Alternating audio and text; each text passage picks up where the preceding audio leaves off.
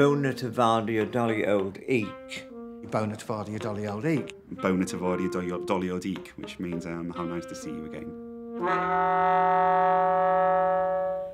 The Polari, I only picked up that from um, a program that went out on BBC at one o'clock with Kenneth Horne and, and um, another friend who's um, not with us now.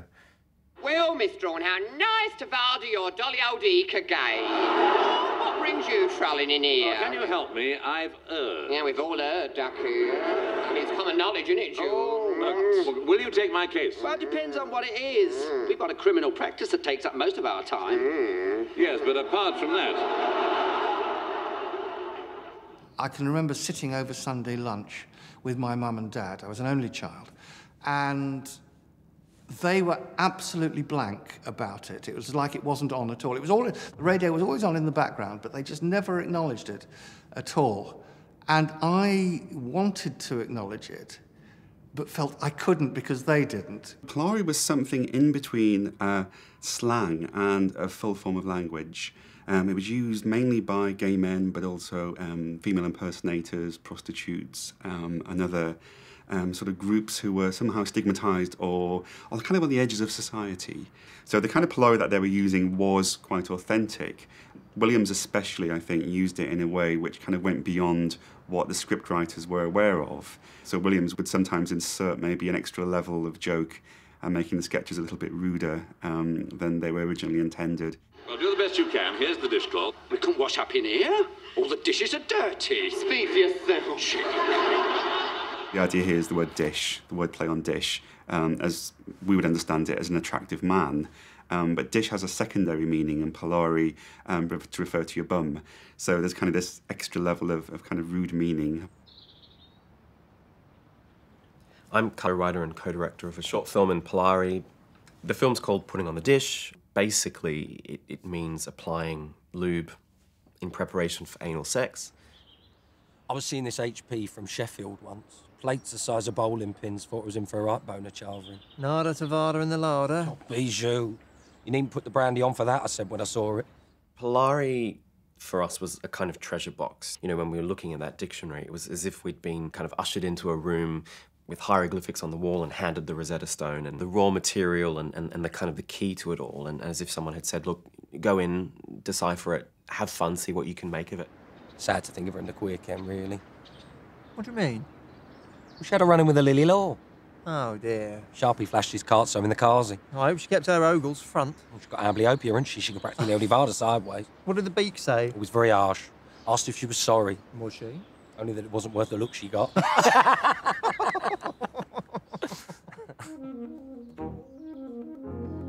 Polari has a really, really complicated history. It goes all the way back to Elizabethan times, beginning with something called molly slang, which was used by men who had sex with other men, and they would call themselves mollies, and they had certain slang words, words like to cruise and things like that, and they gave each other female names. Um, then we gradually move forward to the 19th century, and we have something called parlyaree, which was spoken by um, beggars, buskers, people who worked in fairgrounds, people who worked in marketplaces, things like that. Um, and it was used mainly in the first half of the 20th century, sometimes in the 19th century as well, um, by people who really wanted to kind of hide their identity and find ways of communicating with each other. When they used to have a word called trolling, and that's where basically when Jimmy and I are using the trollettes, you know, trolling around the stage and things like that. I remember in the Oxford Gay Action Group there was a man called Alex, and Alex used to use it. And he'd always say, "Oh, Banatavaji, oh, Vada the Lally's on that one," and things like that. There are so many rich expressions, and they say so much. Um, I mean, there's one scene uh, that didn't make the film. It's when one of the characters sort of says, uh, do, you, "Do you think she's in the life? To be in the life is is to be gay." But what a you know what a wonderful way to say that. I have used Polari occasionally for revue sketches, which did involve sort of camp gay characters as well. I remember the first one I think I did was one called Dragula, Queen of Darkness, uh, which was, that's 1970. It was almost like a prototype of the Rocky Horror Show, actually, uh, now I think of it. One of the people that I interviewed told me that he'd been in, arranged to meet a friend in a gay bar. The friend was over an hour late, and when the friend eventually arrived, look, looking very flustered and upset, kind of came in and sort of sat down and said, um, oh, your mother's been arrested, Ducky. And it turned out that he'd been cottaging in a local loos. He was referring to himself in the third person um, as your mother and also using a feminizing term as well, which is something that was very common among Ploy speakers. And I think that kind of enables you to kind of make light of, of kind of the bad situation that's happening. You kind of make it sound silly and trivial. I can make a big fuss maybe about something like, say, breaking a fingernail or having your wig on askew or something like that, but then something really tragic and bad, like being beaten up. It's a kind of way of inverting society's values, and I think Polari speakers were very good at that. Being gay was not fun in the 1950s at all. It was very different to, to current times. Let us pause for a moment and remember George Brinham, one time chair of the Labour Party National Executive, who in 1962 picked up a young cellarman and then invited him back to his flat. He said to Summers, Give us a kiss and tried to put his arms around the lad, who hit him with a decanter four times and smashed his skull in.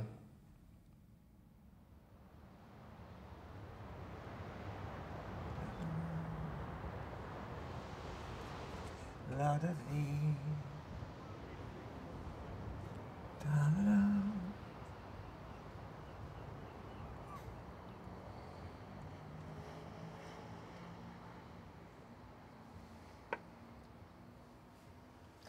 Da da dee. Do you know, funny we talked earlier, I'm not putting on, which everyone will think putting on the wig or the hair, but another um, from years ago, it was called the Rye, and I, I did use that a lot. I couldn't understand why. Stunning. I think I'll walk down the seafront, see if I can make some money or, or something to that effect. I think when you first encounter Polari, what really jumps out at you is is all the funny stuff, the the you know the, the cab stuff, the silly stuff, the inventive stuff, the stuff about you know like you know dicks and asses and and all the sexual stuff. Speaking of baskets, Oh, Gloria. That stretch of Corribungus. Fortuny. But when you look at it a bit closely, you realise there's there's racism. I mean, there's terms for you know black people. It's like Schwarze Omi, and, and I think for Jewish kosher Omi. Um, and and and then they're, they're terms. I mean, they're there, and I think they are often used in, in sort of a, a derogatory way. People who spoke it from a very different generation um, and had you know different values and um, I think you know to call them racist is, is, is maybe an oversimplification of the word. I think I think society was kind of more endemically racist then, and there was less awareness of, say, you know, referring to someone just by their skin color, you know, than, than, than we would do now. So that there's you know there is a kind of a nastiness in the way Polari is used, and there's, and there's a cattiness, um, or, or there can be. Oh, go on. Put your fakements in your little shush bag off your scarper. I mean, that's potentially also one of the reasons why, uh, you know, why, why it kind of died out when it did, because, you know, in 1967, homosexuality was decriminalized, but that was also a time of so many other social advancements. the television done the done the breakthrough because um, um, I mean they were never allowed to be out unless there was some. They, would say, "Oh, you know, he, he's not married. I can't. He's not married, you know," and that used to be the thing to say.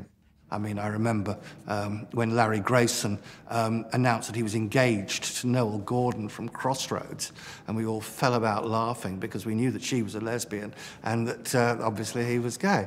Um, so, so they weren't helping themselves at all, and they weren't helping the cause either of Polari or feminine gay men.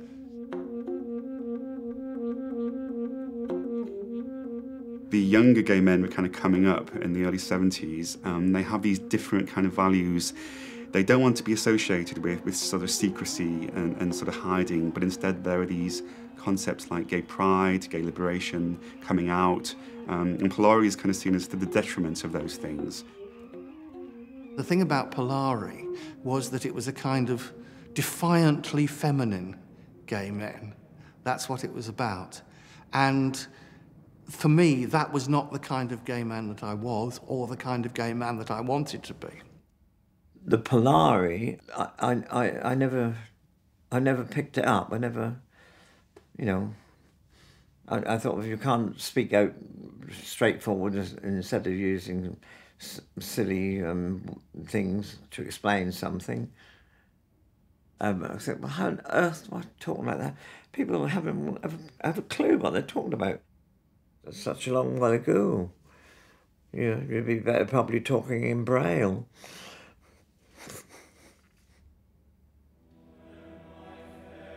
The Church of England Theological College has expressed regret after trainee priests held a service in Polari. Instead of the traditional glory be to the Father and to the Son and the Holy Spirit, the prayer offered was Fabeness be to the Auntie and to the Homie Chavi and to the Fantabulosa Fairy. It's interesting because language itself is the threat.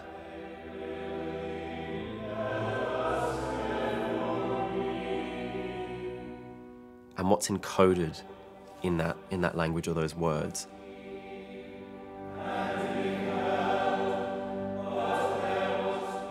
And so if there's an, if there's a discomfort with the words and the way things are being expressed, perhaps there's a more deep-seated discomfort, a true discomfort with what it means to be gay. I looked online, looked on Twitter and, and Facebook to see what people were saying about, um, you know, the Polari Evening Song and the apology afterwards. Some people were upset genuinely by it, and some gay Christians thought it wasn't a very good way of gendering inclusivity. Some gay people thought it was a you know, fuss over nothing, and some people were just very cross about it. There's not much sense in speaking a made up language because they won't understand what you're talking about. So I probably would be a little bit, um, you know, what are they doing that for? You look at what's encoded in Polari. I mean, the, the, the mere fact that God is Gloria, we turn the, the Heavenly Father into some fabulous, you know, fabulous woman called Gloria who might as well be a hairdresser.